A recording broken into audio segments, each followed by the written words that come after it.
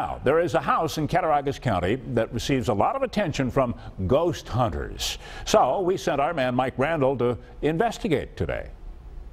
On a dead end road in the southern tier, you'll discover what may be Western New York's most haunted house. Probably what most people know about is the 1973 failed exorcisms that happened here at the house from the Dandy family. Daniel Klaus bought the place last year the house, a pond, eight acres, and who knows how many ghosts. And this is the room where the psychics say is where the portal is, where the spirits like to come and go. Who buys a haunted house? Uh, somebody that's into ghost hunting, I guess. Um, I fell in love with this place when I came here in 2011 with my ghost hunting team. Daniel is the co-founder of the Western New York Paranormal Society. He saved the house from demolition and now gives tours, mostly to other folks who are into ghosts. And I believe that the house and this land wants to have its story told. He and his team members, like Chelsea Gill, a psychic medium, have ghostly encounters here all the time. The woman in white that goes by the pond, um, the little boy, um, people that just kind of roam the area.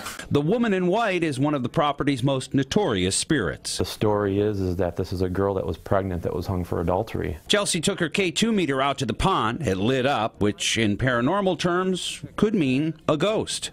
I don't want to scare you, but they're in this vicinity right here. The house has a lot of history. but The most famous event here would be that failed exorcism in the 1970s. Father Trabold from St. Bonaventure University came here uh, with the film crew from New York City and uh, tried to perform an exorcism twice and uh, basically we're told the family it didn't work.